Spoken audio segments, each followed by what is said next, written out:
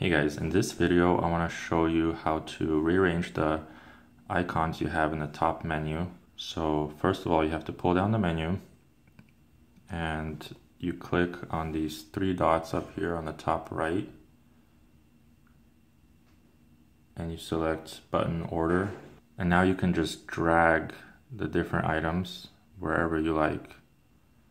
Just like that you just you can drag it to the top row here if you want um, I like to have a couple of the items up here that I use the most. Um, that way I don't have to go looking for them down here whenever I need them.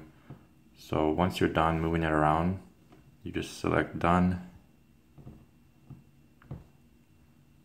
And next time you pull it down all the items that you put up there are going to be in the top row and it's going to be in the order that you put it in. So let me show you an example if I change one of them.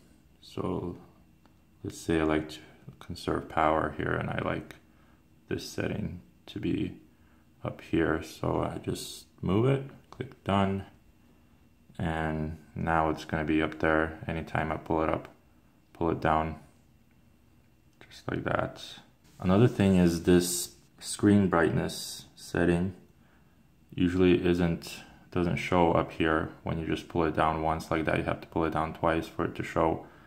And the way you set that is um, you go down here you click this down arrow right here and there's a setting that says show control on top.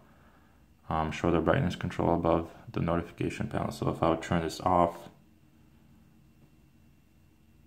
it doesn't show that where I can adjust the brightness. And if you want it easier to access you can just select that setting.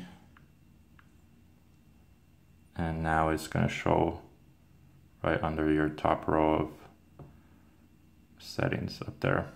Another thing you can do here is you can change how much items you want per row. So you can make it like that where you have more items in a row less and then even less like that. You can adjust that setting right there. I just like to leave it how it is. Also if you go to button order if there's something you don't want on this list at all all you have to do is just drag it down here and it's not going to be on there anymore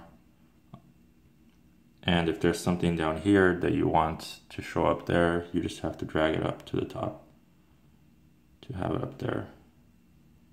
You can also drag things to the second page here just by clicking on it, dragging it over.